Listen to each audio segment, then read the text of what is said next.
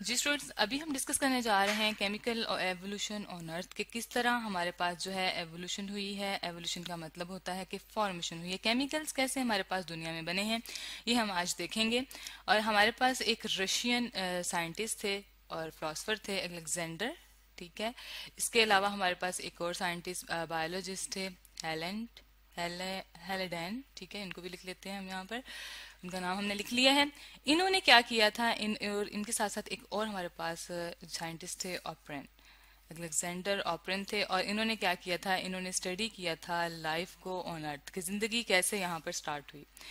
Chemical evolution कैसे हुआ? उसके बाद फिर लाइफ कैसे आई? तो ये इन दोनों ने मिलकर स्टडी किया था। हमारे पास सबसे पहले क्या बने जी? हमारे पास सबसे पहले बने थे मॉलिक्यूल्स ठीक है? मॉलिक्यूल्स बने, फिर हमारे पास ये सोलर सिस्टम आया। सोलर सिस्टम हम जानते हैं, जिसमें हमारे पास एक सन है और उसके साथ हमारे पास बाकी एट स्टार्स हैं। नाइन स्टार्स कहे जाते सॉरी नाइन प्लैनेट्स कहे जाते थे। प्लैनेट्स जो है, उसमें हमारे पास अर्थ आ जाती है और जो है अर्थ वो प्लैनेट है जिसके ऊपर लाइफ एग्जिस्ट करती है। इसके बाद हमारे पास कुछ ऐसी जो मेटल्स हैं एलिमेंट्स हैं, जिन्होंने मिलकर हमारे पास क्या बनाई जी पूरी दुनिया बनाई है। उसमें हमारे पास कुछ लाइट और हैवी मेटल्स आ जाती हैं। लाइट और हैवी मेटल्स आ जाती हैं, उनको हम यहाँ मेंशन कर लेते हैं. Light and heavy metals light and heavy metals elements आ जाते हैं.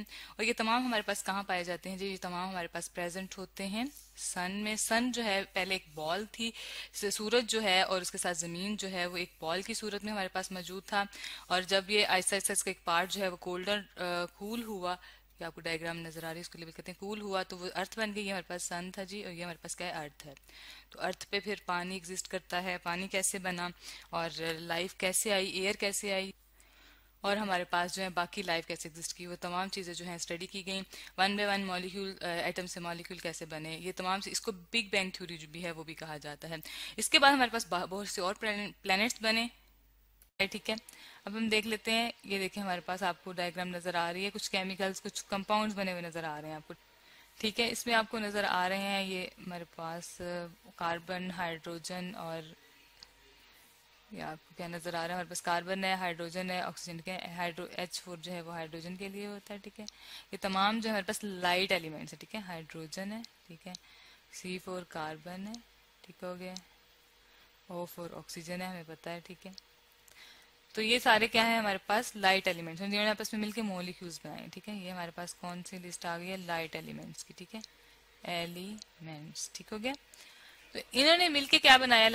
लाइट एलिमेंट्स जब कंपोज हुए, आपस में जुड़ गए, क्योंकि हम जानते हैं कि एलिमेंट्स जो है वो सिंगल एग्जिस्ट नहीं कर सकते तो इन्होंने आपस में मिलके हमारे पास क्या तो ये आपस में मिलके हमारे पास एलिमेंट्स हमें पता है कि क्या बनाएँगे? मॉलिक्यूल बनाएँगे, ठीक है? इन्होंने मॉलिक्यूल्स बना लिए, ठीक है? ये हमारे पास मॉलिक्यूल्स हैं। ठीक है ये हमारे पास जो है, ये इसको हम कहते हैं मिथाइल रेडिकल होता है, ठीक है? इसमें अगर कोई ओ OH मिल जाए तो ये अल्कोहल बन जाती है, ठीक है? ये इसके बेसिक कंपाउंड इसमें कार्बन हाइड्रोजन मौजूद है, ये सारे हाइड्रोकार्बन बन ठीक है? हाइड्रो कार्बन मैंने कह सकते हैं इसमें हमारे पास ऑक्सीजन भी मौजूद है, ठीक है? तो अब हम देख लेते हैं कि लाइट एलिमेंट्स तो मिल गए, ठीक है? तो ज़मीन किस चीज़ से मिली है? ज़मीन बनी है हैवी मेटल से, ठीक है? हैवी एलिमेंट्स भी हमें कहते हैं हैवी मेटल्स भी कहते हैं, ठीक है? क्योंकि हमें पता है कि एलिमेंट्स हमारे पास दो ग्रुप्स होते हैं, एक मेटल्स और एक नॉन मेटल्स और तीसरी भी है मेटलाइट्स ठीक है? मेटल्स वो होती हैं थोड़ी हार्ड होती हैं, ठीक है? और वो वो बनाती हैं हार्ड पार्ट बनाती हैं, जिस तरह आयरन है निकल है तो ये इन्होंने ज़मीन का सेंटर बनाया है, ठीक है? अर्थ का न्यूक्लियस भी उसे हम कहते हैं, अर्थ का सेंटर जो है वो किस चीज़ से बना हुआ है? हमारे पास वो बना हुआ है आयरन का, ठीक है? न्यूक्लियस भी हम कह सकते हैं, उसको अर्थ सेंटर भी कह सकते हैं, ठीक है? तो ये चीज़ें जब आपस में मिली, हमारे पास इस तरह के कंपाउंड्स बन गए, अब इस तरह के कंपाउंड्स जब आपस में मिलेंगे, ठीक है? जारी बात है यहाँ पर क्या था हाई टेम्परेचर था, ठीक है? हाई टेम्परेचर था टेम्परेचर ठीक है? हाई टेम्परेचर था।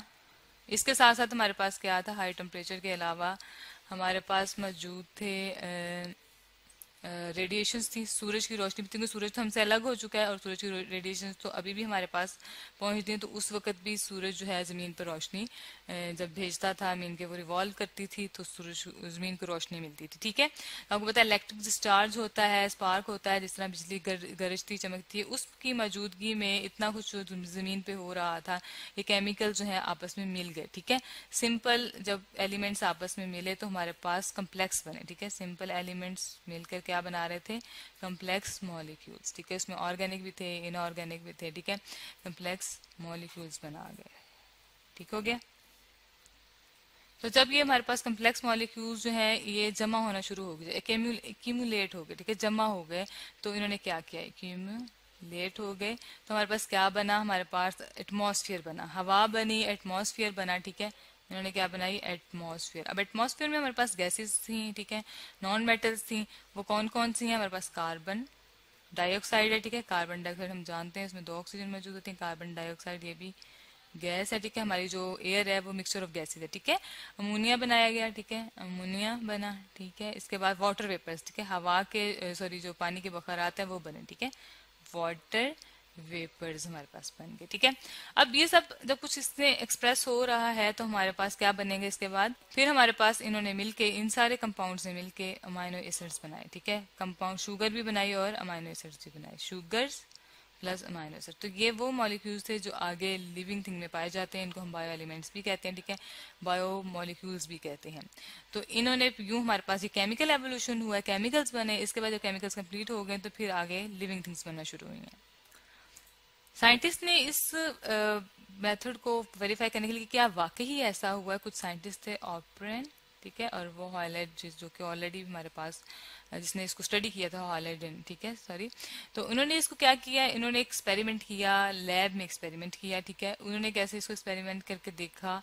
एक्सपेरिमेंट में हमारे पास तमाम जो एलिमेंट्स मौजूद हैं, उनको उन्होंने मिक्स किया, ठीक है। एक्सपेरिमेंट परफॉर्म किया। एक्सपेरिमेंट ठीक है।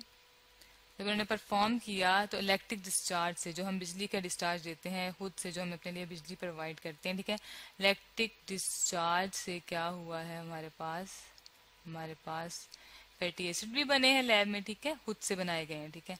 और प्लस में शुगर भी बने, ठीक है? और अमाइनो एसिड भी बने ठीक है? फैटी एसिड ऑयल में पाए जाते हैं अमाइनो एसिड प्रोटीन्स का पार्ट होती हैं, ठीक है? स्मॉल मॉलिक्यूल्स होते हैं इनके, इसके बाद हमारे पास शुगर ठीक है? तो इससे पता चला कि ऑर्गेनिक एवोल्यूशन हुई है एलिमेंट्स आपस में मिले हैं, ठीक है। लेकिन हमारे पास तब तक कोई फ्री ऑक्सीजन मौजूद नहीं थी। फ्री ऑक्सीजन आपने देखा ऊपर भी हमने मॉलिक्यूल देखे, कोई फ्री ऑक्सीजन नहीं थी। नॉट प्रेजेंट हम कह सकते हैं, ठीक है। इसकी वजह क्या थी? इसकी वजह ये थी कि हमारे पास जितने भी कंपाउंड थे वो कंबाइन फॉर्म में थे, ठीक है। तो हमने आज डिस्कस किया है केमिकल एवोल्यूशन को कि किस तरह एलिमेंट्स आपस में मिल के मॉलिक्यूल्स बनाया उन्होंने ठीक है आज से बहुत बरसों, हज़ारों साल पहले कैसे ज़मीन बनी, सूरज से अलग हुई, ठीक है, ये हमारे पास लाइट एलिमेंट्स और हैवी एलिमेंट्स बने, और इन्होंने किस तरह ज़मीन जो है वो इवॉल्व हुई केमिकल्स यहाँ कैसे बने, क्योंकि सूरज, ज़मीन सब कुछ एलिमेंट्स मिलकर बना है और केमिकल्स मिलकर बना है, ठीक है? इसमें दो तरह के एलिमेंट्स है लाइट और हमारे पास दूसरे आ जाते हैं हैवी तो आज हमने केमिकल एवोल्यूशन को डिस्कस किया है अर्थ पे. अब हम इस नेक्स्ट वीडियोज़ में देखेंगे कि इसके बाद ऑर्गेनिक जो कि लिविंग थिंग से रिलेटेड है, वो कैसे इवॉल्व हुई है.